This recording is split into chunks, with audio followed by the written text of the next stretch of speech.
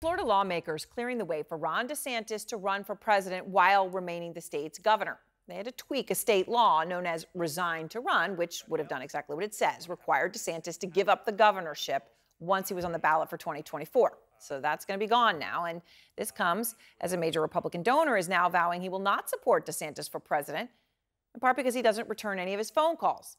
And that donor, John Catsimatidis is now out front. He is the host of the Cats Roundtable and Cats and Cosby radio shows, and uh, also the CEO of the Gristedes supermarket chain.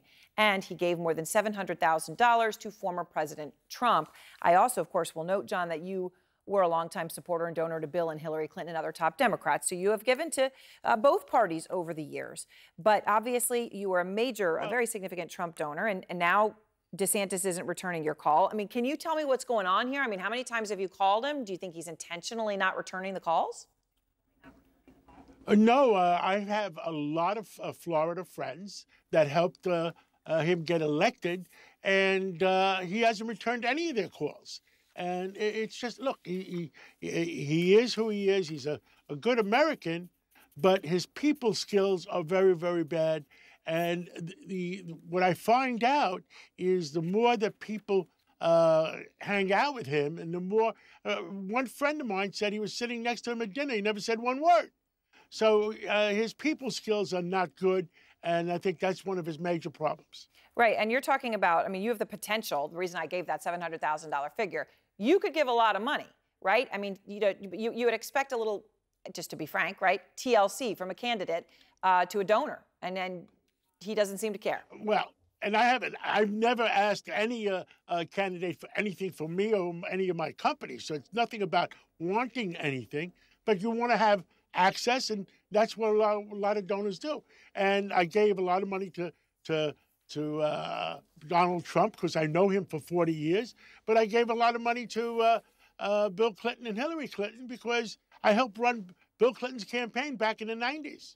So now I did look here, and campaign, campaign finance records, I'm sorry, show that in the run up to the 22 election, you gave $20,000 to Charlie Crist, who, of course, was the Democratic opponent to DeSantis for governor. Do you think that it comes down to something like that, that he's mad that you gave to Crist so he won't call you back, or do you think it even gets to that point? Absolutely not. It was way before that point existed.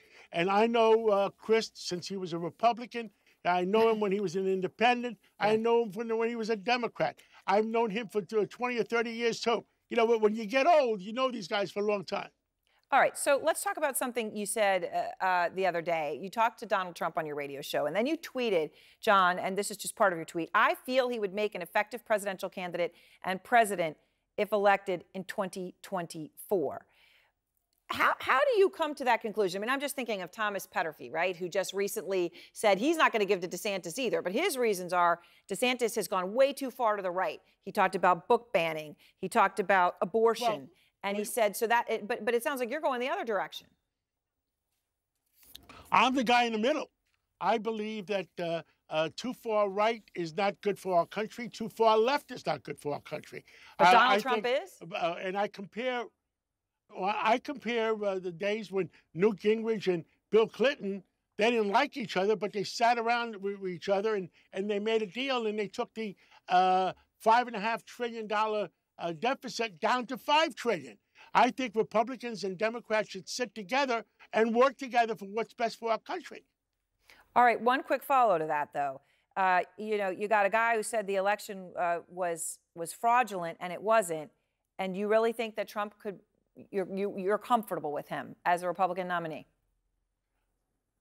Well, he, let me tell you something. In four years, when Donald Trump was president, is does he have his own problems? He has a few problems, but but when he was president, we did not have one single war. The world leaders respected us. And uh, look what's happening now. There's no respect. The world leaders are not respecting our country right now. I hope the dollar doesn't lose too much of its uh, potency.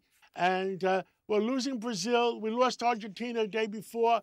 Uh, uh Saudi Arabia doesn't want to know about Washington. We, had a, we have a problem that we have to solve. We okay. have to be well respected in the world again.